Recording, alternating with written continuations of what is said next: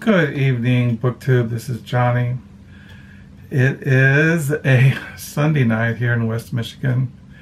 It is going on 9.36 in the evening. Uh, we're in the midst of a severe thunderstorm. And um, I thought I'd make a video because tomorrow night our daughter should be here with her family from Denver. And I don't think I'll be able to make a video at least for a couple of days.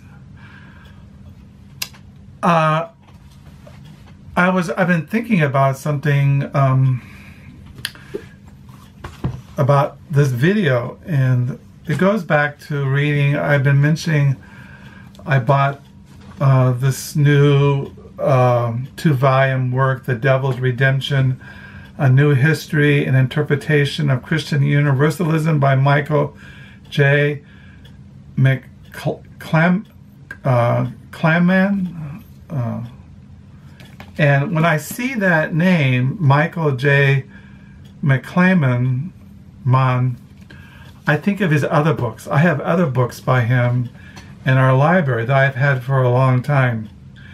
And and so I thought I'd do a video because if you're going to do videos in booktube you should talk about books and things that you know something about and uh, or something that a writer or books or that you have been blessed by or have enjoyed or has had an impact in your life. And one of the the people, one of the Christians in my life who's had an impact is Jonathan Edwards, who was the 18th century uh, minister, uh, theologian, missionary, philosopher, a contemplative.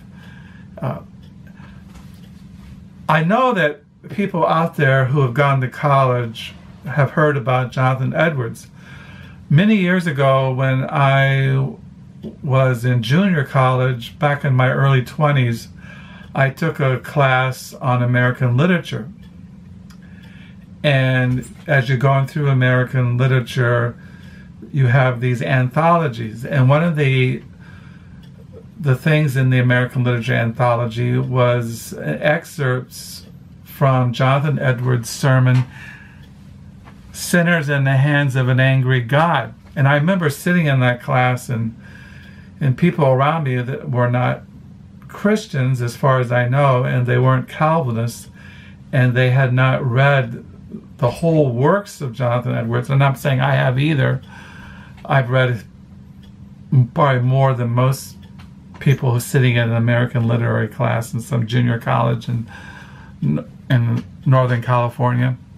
And when we're going through the sermon, I people are saying, you know, the the the teacher was saying this is Calvinism, and I rose my hand and said I'm a Calvinist, and he kind of looked at me and said, you know, and so I kind of I don't remember exactly what I said, but I had said I had read Jonathan Edwards and Jonathan Edwards preached many sermons besides Sinners in the Hands of an Angry God. And that it was just being uh, not fair to Jonathan Edwards just looking at one sermon. I mean, he preached thousands of sermons. Uh, if you go to, you know, here I have just these are the, the the works of Jonathan Edwards published by Banner Truth and there are sermons in here by Jonathan Edwards, but he wrote many things. Uh, besides, you know, he in his works you have many. Th- th- he wrote many treatises on f- free will, the end of creation. You know, he wrote on revival, what is true spiritual revival, and all kinds of things. And one of my favorite books, uh, a while back, a booktuber said, mention 10 books that you have to have in, in your library. If, if, if you had to choose 10 books, which would they be? And one of them I mentioned was Jonathan Edwards' Religious Affections. Now, Religious Affections is, is in the works of Jonathan Edwards, published by Banner Truth. Now, if you look at this edition, it has really small print. But, and so I bought this Banner Truth edition. So I bought this many years ago. My edition came out in 1986. And I probably bought this when I was, I can't remember. I might have had another edition of this, but this one I I've read many times. I have it marked up. And one of the premises of Jonathan Edwards, well, going back to Jonathan Edwards, well, and about uh, Michael J. McClellan, he wrote this book, Encounters with God, an approach to the theology of Jonathan Edwards by Michael J. McClellan. And he also wrote this big, well, he co-wrote it, this book, The Theology of Jonathan Edwards by Michael J. McClellan and Gerald R. McDermott Mott. So he wrote these books on Jonathan Edwards, and I got those out because every time I look at this book, I think of these books because I have a huge Jonathan Edwards collection of books about Jonathan Edwards, biographies, uh, studies of the th theology and philosophy of Jonathan Edwards, and historical books about uh, the, the first Great Awakening there in the colonies, uh, things like that. Uh, those who watch my videos know I'm into the history of Christianity in America, uh, uh, colonialism, uh, the second, the first and second Great Awakening, oh, the time of the Transcendentalist movement, after the Civil War, and going into Reconstruction and the Gilded Age and you know, all those different periods of American history and looking at how Christianity was seen or expressed or manifested itself among those who profess to be Christians, Baptists, Methodists, Charismatics, Pentecostals, Catholics, uh, you know, all kinds of denominations and Christian spiritual traditions in America, Quakerism, this goes on and on. Uh, Shaker movements, you know, utopian movements, you know, all those kinds of things. So Jonathan Edwards is a towering figure in American uh, church history. Um, in in the circles that my wife and I are in as Christians. Jonathan Edwards is known and read, and uh, you find his sermons and his works in ministers' libraries and some lay people's libraries. Uh, uh, th there is, I have, I used to hand out this booklet to people one of my favorite Jonathan Edwards sermons. It's called Safety, Fullness, and Sweet Refreshment in Christ by Jonathan Edwards.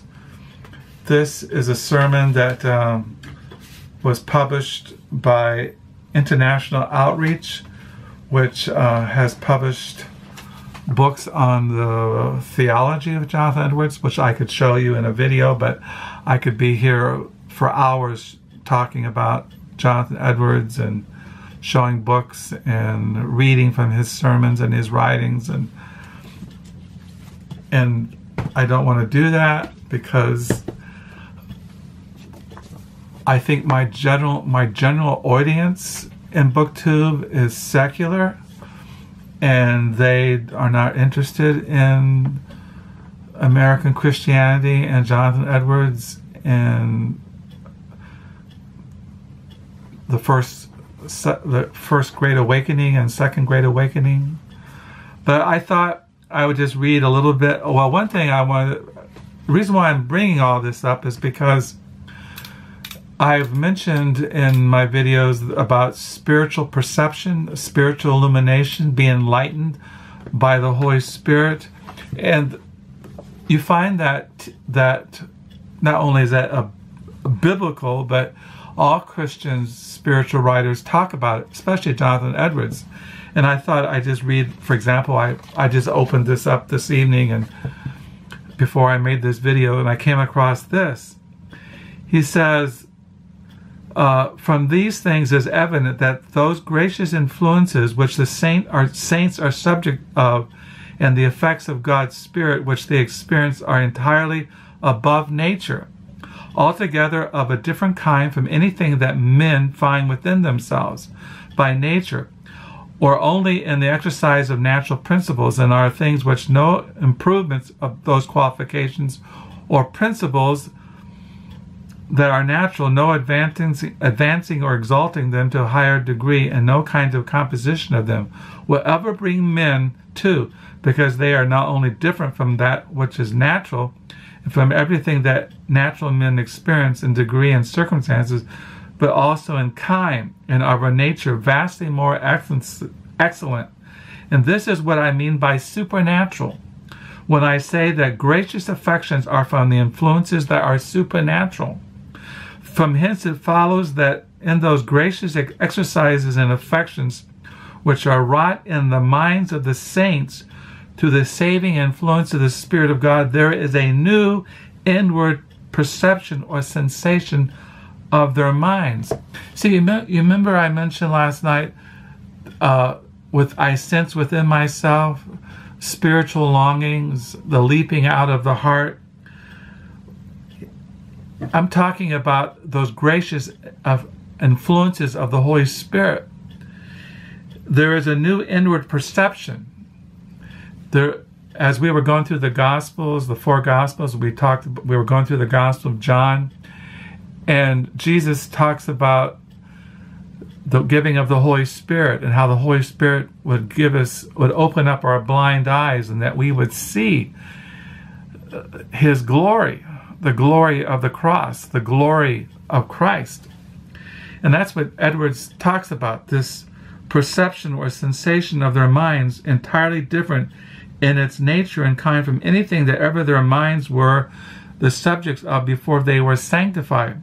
For doubtless, if God by his mighty power produces something that is new, not only in degree and circumstances, but in whole its whole nature, in which cannot be produced by any by any exalting or varying or compounding of what was there before, or by adding anything of the kind. I say, if God produces something thus new in a mind that is a perceiving, thinking, conscious thing, then doubtless something something entirely new is felt or perceived or thought, or which is the same thing, there is some new sensation or perception of the mind which is entirely of a new sort and could not be produced by any exalting, varying, or compounding of the kind of perceptions or sensations which the mind had before. Or there is what some metaphys- metaphysicians, a metaphysicians, you know, like a, uh, what's the word? Uh, physicians, metaphysicians, metaphysicians call a new simple idea. If grace be in the sense above describe an entirely new kind of principle, then the exercise of it are entirely a new kind of exercises. If there be in the soul a new sort of exercises which it is conscious of, which the soul knew nothing of before, and which no improvement, composition, or management of what it was before conscious or sensible could produce anything like it, then it follows that the mind has an entirely new kind of perception or sensation, which is, as it were, a new spiritual sense. A new spiritual sense that the mind has, or a principle of a new kind of perception or spiritual sensation. And that's why I'm talking about when Edwards is saying that a Christian is given by the work of God a new sensation, a, a new perception that was not there in his natural condition before he was born again, regenerated. Remember, we read in the Gospel of John about being born again. What is born of the flesh is flesh, and what is the spirit is spirit. Well, when we're born of the Spirit, the Holy Spirit, we're given a new sensation, we're giving a new perception. The mind has entirely a new kind of perception or sensation. And here it is, as it were, a new spiritual sense that the mind has, or principle of a new kind of perception or, or per, sp- spiritual sensation, which is in its whole nature different from any from any other senses, and something is perceived by a true saint in the exercise of this new sense of mind and spiritual and divine things. See, you can't see spiritual and divine things without that new perception that implanted into us by the work of the Holy Spirit. So, and you'll never see that in Christ is safety and fullness and sweetness that you'll never see unless the Holy Spirit gives us spiritual perception the refreshment that's in Christ, the the how satisfying Christ is and how fulfilling he is. And that's why I always find it kind of crazy that in booktube when I get comments that people say, you know, forsake Christianity, that Christianity is just a figment of man's imagination and that Christianity is just a product of human uh, religion evolution or something like that it's just made up by man and and it's all just a, it's just a bunch of fables and it's not true and it, the bible is just a, you know all these different things. And yet here i am i have been blessed by the grace of god to having a spiritual perception of the glory and the beauty of christ seeing in him that he of his, of his infinite fullness seeing in Him that He is all satisfying, seeing in Christ that He is all sufficient. And why should I? Why should I forsake? See, Christianity is not just some kind of religious practice. Christianity, as, I, as I've always raised our children, is a relationship. Being a Christian is following Jesus. Being a Christian is knowing Jesus Christ, not just some intellectual thing in your head, but with affections, religious affections. And the, the primacy is, is that it's what in our circles called uh, heart religion. That not only true Christian doctrine should inflame our hearts with love, true Christian doctrine should cause us to fall deeper in love with God the Father, God the Son, and God the Holy Spirit.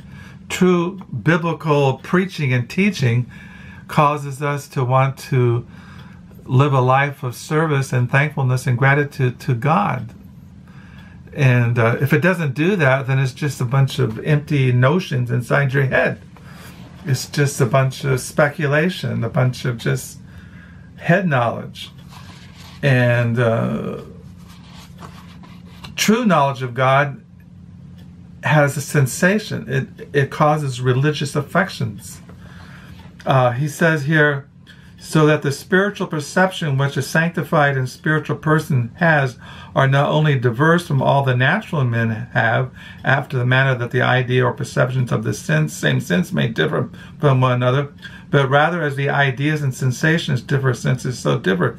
Hence, the work of the Spirit of God in regeneration is often compared to the giving of a new sense, giving eyes to see and ears to hear unstopping the ears of the deaf, opening the eyes of them that, that were born blind, turning them turning from darkness into light, and because the spiritual sense is immediately, immensely the most noble and excellent, and that without which no which all other principles or perceptions and our faculties are useless in vain. Therefore, the giving this new sense with the blessed fruits and effects of it in the soul is compared to a raising the dead and a new creation. See, when a person is born again, as we read there in the night in the Gospel of John, he becomes a new creation. Old things pass away, all things become new. He is he was once spiritually dead, now he has been raised from the dead. We have been spiritually raised from the dead. And therefore, because we're new creations, that we've been raised from a spiritual death, we have a new perception, new new affections. We see things, we hear things, as he says here. Uh, the Spirit of God and regeneration is often in Scripture compared to the giving a new sense, giving eyes to see and ears to hear. See, you can't see the glory of the gospel until the Holy Spirit opens your eyes. You can't hear the sweetness of the gospel being preached and taught. You can't hear the sweetness of God's word in Scripture unless the, the Holy Spirit opens up your deaf ears to hear. And uh, so to me, that I, I'm not surprised when people comment in BookTube what they say about Christianity, that they're atheists or they find being a Christian a foolish thing. And one thing else is that being a Christian, you're not. Uh, so I think sometimes people think that being a Christian is that you got to be a crowd pleaser. That being a Christian is that you're supposed to go along with what our, our culture says is ethically right. Well, the Bible says, the Word of God has always said, the people of God will always be hated and persecuted. Because people outside of Christ who don't have, are not born again, they're in darkness. And therefore, they hate the light. They don't want nothing to do with God. And so they're going to, and the, the Bible talks about idolaters. The Bible talks about the children of darkness. The Bible talks about those who have rejected Christ and and gone the way of sin and rebellion. And they hate they hate the light. They hate those who stand up and try to live according to what pleases God. Uh, because they have seen by the work of the Holy Spirit that Jesus and all that he has said and done was out of divine love, and that He wants us to enter into fellowship with the triune God, to have an intimate relationship with God, to, to participate in the life of God, and uh, which is eternal joy and love and peace and and what is reality? What is reality? I mean, reality is is God reality is Jesus Christ. Reality is fellowship with God. Everything else is just it's just something else. So when I uh, I look at uh, the Devil's Redemption by Michael J. McClymond, I think of his books, The Theology of Jonathan Edwards and Encounters with God, Approach the Theology of Jonathan Edwards. He has in here even uh, uh, there's a a chapter, the spiritual perception in Jonathan Edwards. I just read that tonight. So I just thought I'd share these thoughts. Jonathan Edwards was one of the first things that I, I, I, when I first got into reading the 17th century English Puritans, uh, and I was involved in the in the Banner of Truth, which reprints these works. I bought when I was really in my, I think I was around 23. Uh, I got some money, which is a long story, and I went to Berkeley, California, and I bought the works of Jonathan Edwards. And I was living out in the woods, and I was living in a little tiny shack.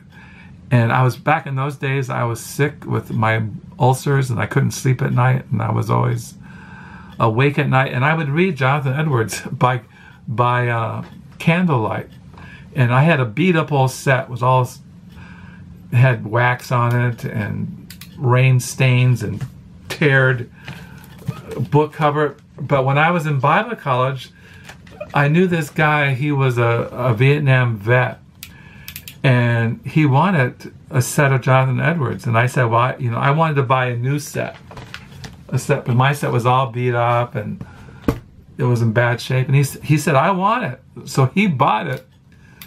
I don't know how much he he paid for it, maybe you know twenty dollars.